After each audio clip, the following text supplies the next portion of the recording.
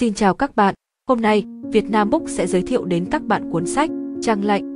Mở đầu của tác phẩm, như thường lệ, ZFGZAV lại đưa độc giả phiêu lưu cùng nhà hình sự học ngồi xe lăn Lincoln dài đến với những vụ án phức tạp, những chứng cứ mơ hồ và tất cả đều căng thẳng bởi thời gian, cái thứ tích tắc lơ lửng trên đầu những nạn nhân kế tiếp.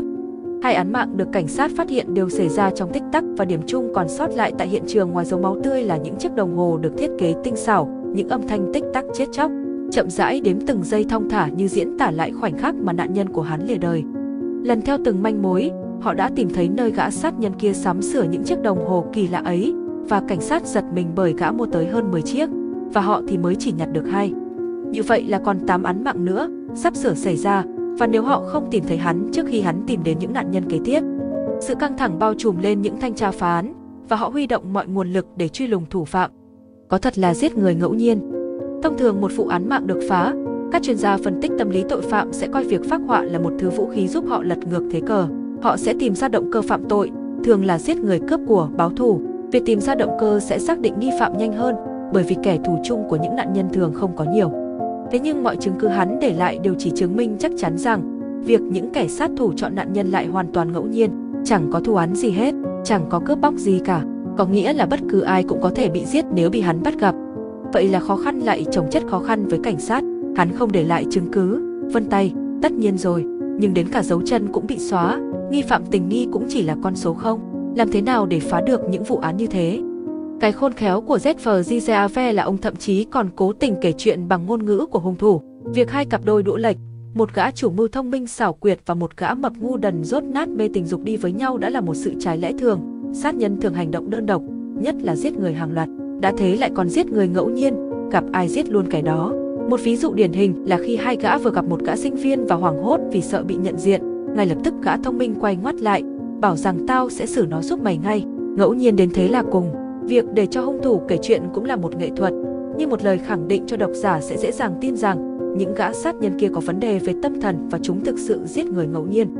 Nhưng mọi chuyện giản đơn đến thế thì đã không có ZFGZAV với tiếng vang là nhà văn trinh thám nổi tiếng của nước Mỹ. Đỉnh cao của những cú lừa ngoạn mục. Lincoln với khả năng phán đoán tuyệt vời của mình đã khiến cho hai gã sát thủ liên tiếp gặp thất bại, hàng loạt những con mồi tiếp theo đổ bể mà không rõ lý do. Điều này có thể sẽ khiến độc giả bối rối. Sao một cuốn truyện trinh thám mà lại để thám tử thể hiện năng lực quá sớm như vậy? Tại sao hai gã kia cứ tính giết ai, lại y như rằng chúng nó sẽ bị ngăn chặn?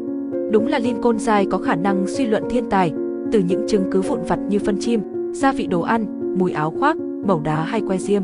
Rất đỗi bình thường anh lại tìm ra được hướng điều tra lần đến tên hung thủ. Thế nhưng chẳng lẽ gã sát nhân được cho là thông minh tài trí lại dễ dàng thất bại đến thế? Có thực là hắn đã thất bại thật hay không?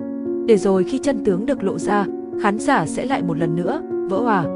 Bởi khi mà Liên Côn và các cộng sự tóm được hai gã sát nhân kia, thì họ vẫn chưa thể biết được rằng cái bẫy mà hung thủ giăng sẵn thực sự bây giờ mới chính thức bắt đầu.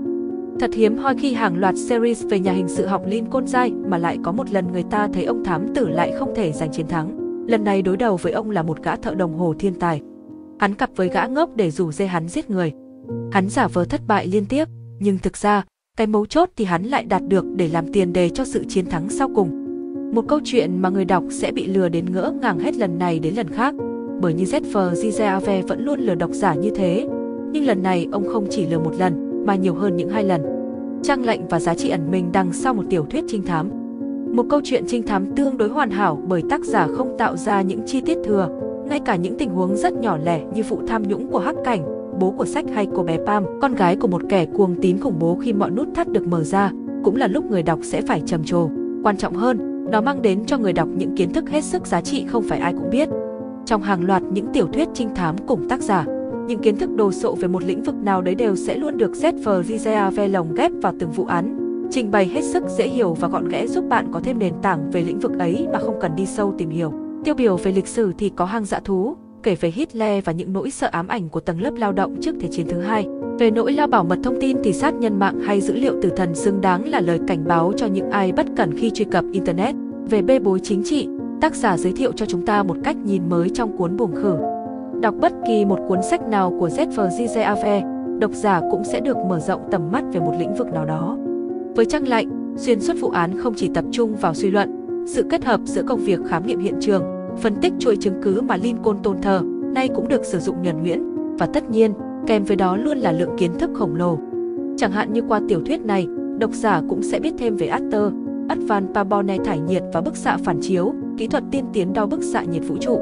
Hoặc những ai yêu thích bộ môn tâm lý học sẽ ấn tượng bởi lý thuyết về nghệ thuật phán đoán hành vi con người dựa trên ngôn ngữ cử chỉ được đặc vụ Kathazin Dan trình bày.